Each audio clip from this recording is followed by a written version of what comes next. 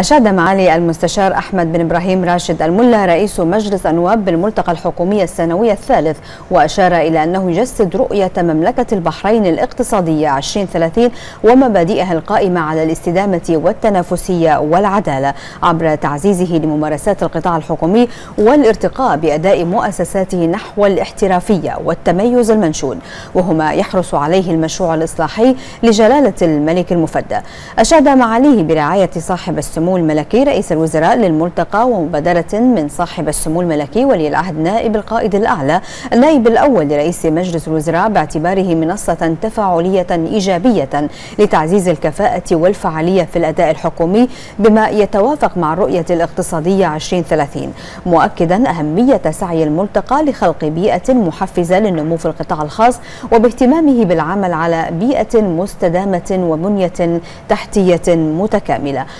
وتطوير جودة الخدمات وكفاءة الأداء الحكومي وتحديده للأولويات الحكومية في المرحلة المقبلة.